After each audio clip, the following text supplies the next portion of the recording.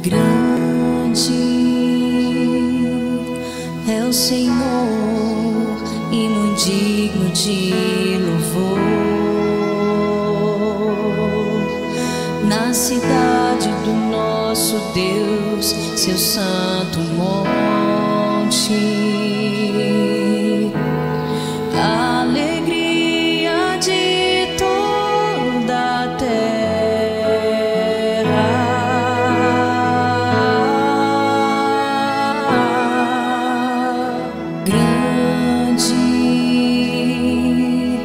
O Senhor em quem nós temos a vitória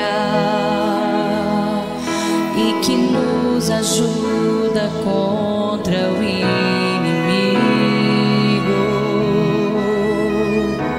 Por isso, diante dele nos prostramos.